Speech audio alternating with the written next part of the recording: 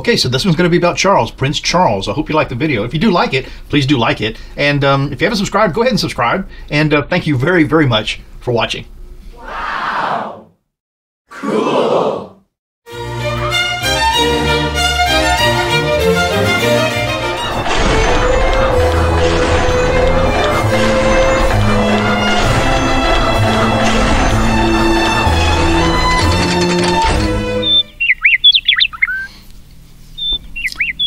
Hi, I'm Marc. and This is my journey through tarot.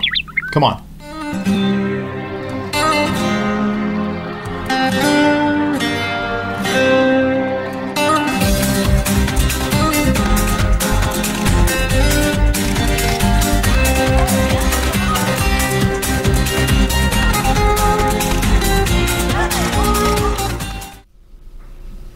So are we all wondering, you know, how will Charles do? Will he change? Will he become more um, introspective? Will he be more like his mother? So let's see what the cards have to say about that. So yeah, I want to know if he's going to gather all the knowledge that he needs before this uh, transition happens. Okay, is he going to have in hand the lessons that his mother has been trying to show him, to teach him, to demonstrate to him uh, all these years? And when will that happen? Will that happen soon, or will it happen after maybe the Jubilee. Uh, we may not get the answer to that, but let's just uh, give it a shot. So this is one of my favorite decks, Golden Tarot by Kat Black, who's an Australian uh, artist, and this is uh, all digital here. Um, I love this box. I mean, look how special it is, and and it's easy to get the stuff out and use it. I mean, it's like a little uh, presentation. There's no fumbling at all. So except when I use it. Now the booklet is pretty good too. It's, Kat Black has written this. It seems like, and so there's a good explanation in the front as to her concept for the artwork, which is amazing. It's usually it's about from the 12 to the 1500s, what she uses in here, which is like cut and paste digital artwork. And then in the back, it talks about her, and uh, she's a webmaster, and author, and artist. And she also she actually lives in uh, Western Australia uh, with her cat Ellie, by the way. So, and I love uh, my uh, tarot reader Ellie uh, Dreams Down Under. So she'd be tickled to know this, I think. so anyway, let's look at the cards. Um, my other favorite reader. Uh, Violetta uses these cards exclusively. They're the only cards she'll use. So there you go. They're beautiful though, and they're not hard to handle. They're a little slicky, and when they're new, they're very gilded on the edge. And then as you use them, of course, that starts wearing off, which is sad. But um, but they're beautiful. They're easy to read. They're Rider Waite uh, iconography, and you can figure out what the card means without any uh, problem whatsoever. And I actually read that Kat Black, the artist, uh, got her first tarot cards when she was 15. So you know, she's someone who designed it uh, with uh, you know practical knowledge uh, at hand, not just commissioned to do the art, I think.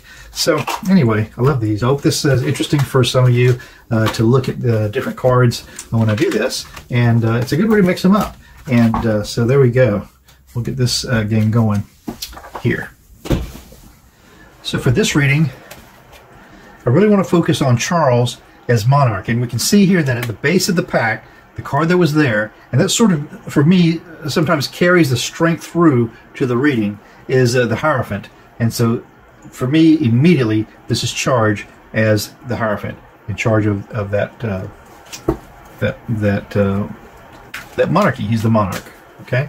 So, Charles as monarch. Charles as monarch. Charles as monarch. Charles, Prince Charles, as king as monarch. Okay, let's do a little bit of shuffle here. And I think what I'd like to know is will he be monarch sooner rather than later? Will Charles be monarch before the Queen's Platinum Jubilee? Charles as monarch, will this be before the Queen's Platinum Jubilee. Charles is monarch. Let's take six cards. Okay, so this will be one, two, three, four, five, and six. Charles as monarch before the Platinum Jubilee. Let's see what these cards have to tell us. The signifier card is the Seven of Wands. So the you know wands are plans, or actions, or movement, um, and going forward. So the Seven of Wands typically is this fellow who is sort of fending off uh, these uh, plans, these actions, these um, occurrences that are uh, poking up at him right now. So I have to say, this is Charles. He has the plan. He's holding on to it. He's trying to fend off these other inevitable occurrences. That's the signifier. The challenge for this then is temperance. Of course it is. Okay, divine, divine. Um, I don't want to say judgment, but divine uh, intervention, divine counsel, and uh, so for me, temperance is knowing when, you know, having a solid, a foot solid on the ground, a foot in the water of emotions, of compassion, knowing how to balance that off. So this angel of temperance is the challenge uh, to uh, Charles's uh, balancing act over here. This angel of temperance is who is going to really call the game for Charles's situation. The base of this reading then is the Two of Swords. And the Two of Swords, I always like to think of swords as truth and justice. Okay? There's going to be a decision that has to be made here. One way or the other. Which way are we going to go? And so this is the base of this reading. And so it is the pending uh, question of all of this. Charles as monarch, will that happen sooner rather than later? The past of this reading then is the star. The star is the queen. The queen is the amazing uh, uh, um, star that she has been throughout her life, never putting a foot wrong, always having complete control of the compassion, the um, the the emotion of the day. In the end, okay, that's the queen. The sky of this reading is the Queen of Cups. And so it just reinforces that, that this queen, this queen of emotion, this queen of compassion, okay, finding that balance, okay, in her reign. Queen of Cups.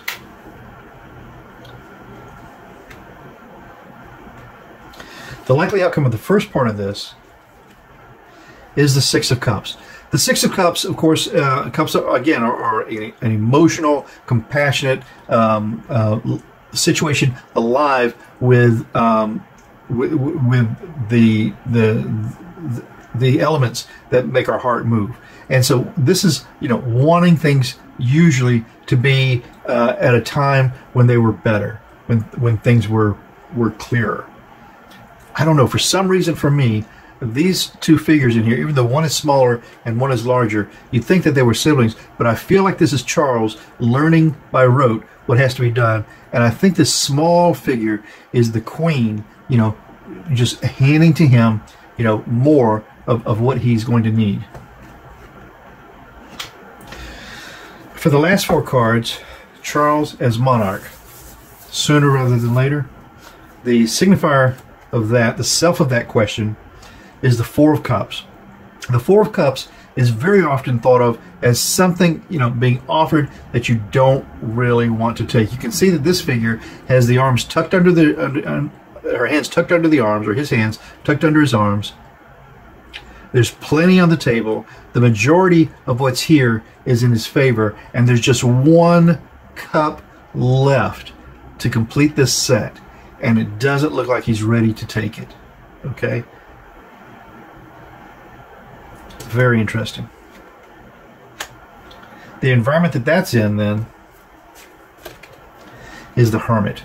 The Hermit is a terrific card to get, especially right now, because the Hermit's telling us this, this you're going to take your time, you know, shine a light into the situation. You don't take a step until you know where you're going to go, where that step's going to lead you. This is the wizened Hermit. And let's hope that this is who Charles is becoming at this very moment. Okay?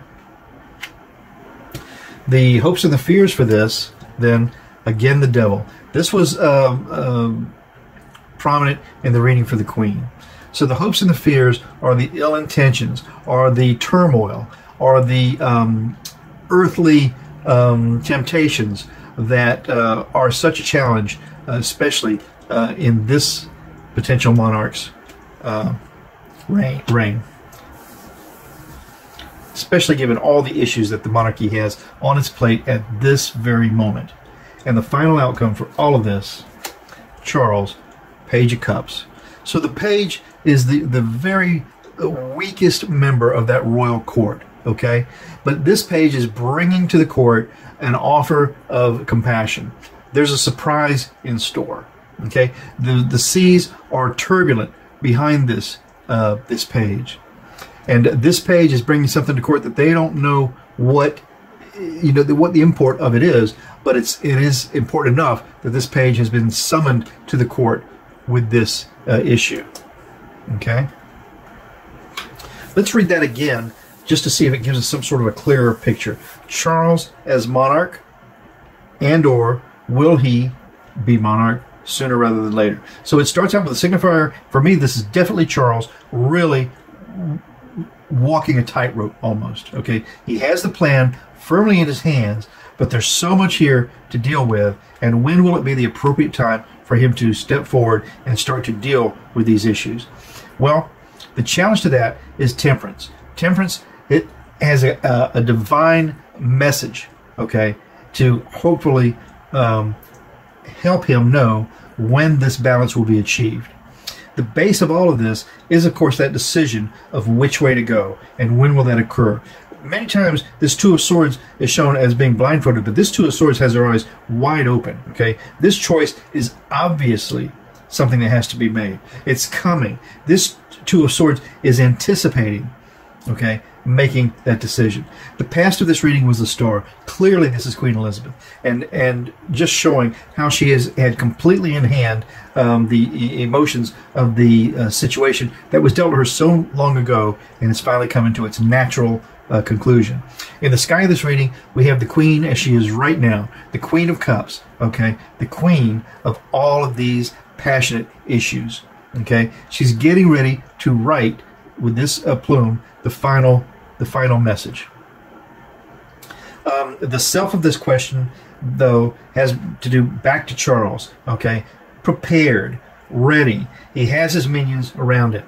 He has um, the, the majority of what he needs, and this one final cup is just about to be offered. It, this hand has not quite yet been extended, and this uh, figure is not anxious to accept it, but it's right here when it's necessary.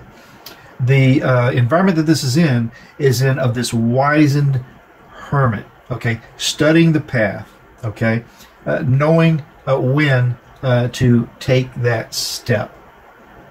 This is Charles, the monarch he will become. The hopes and the fears the fears are all of the issues that are going to land uh, on the lap of this uh, monarch when he steps into that position. And then the Page of Cups is that small offering um, of, of, of emotion, of compassion, of this passionate choice uh, above all of this turbulent uh, water that we see here. This is what's coming to him. It comes to him as a message for him to deal with as is appropriate. This doesn't tell us um, if he's going to be monarch sooner rather than later. And the very fact that it doesn't say that says to me, um, I'll just take the optimistic choice that it will be later, but he'll be prepared for it and he'll have some idea of the direction to go in, something to build on when that happens.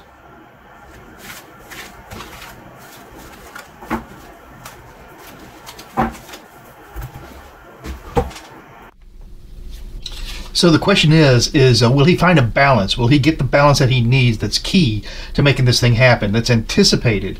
This this thing, this uh, following his mother's uh, shining star, and uh, the queen, uh, as she writes her final chapter, this inevitable horror uh, and a privilege at the same time. will he be wizened enough to deal with the the devilish issues that are are right there, right on the edge, waiting for him to, to take them up? And will he be ready and prepared? And he will be, but we just don't know when it'll be. I'm Marc, my journey through tarot. Tomorrow's another day. Stop by, we'll do it again. Ciao for now.